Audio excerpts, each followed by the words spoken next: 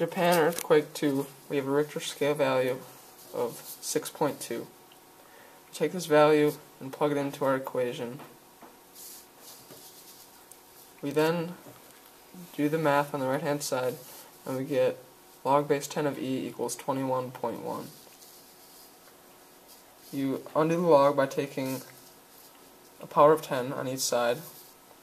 This equals 10 to power 21.1 equals e.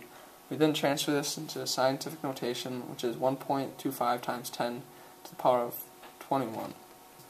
Now, let's see how much more intense earthquake 2 is than 1.